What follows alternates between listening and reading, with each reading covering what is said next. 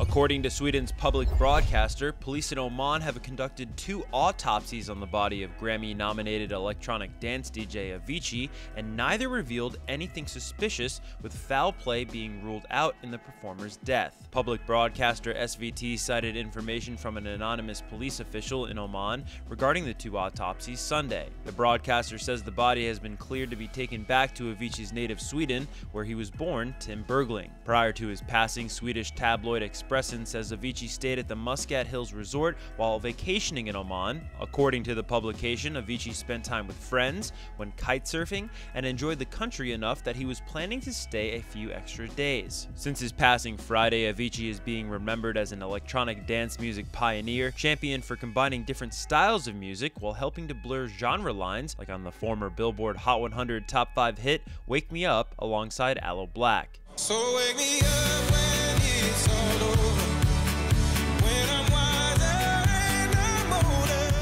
For more on this story, head to Billboard.com. And until next time for Billboard News, I'm Kevan Kenney.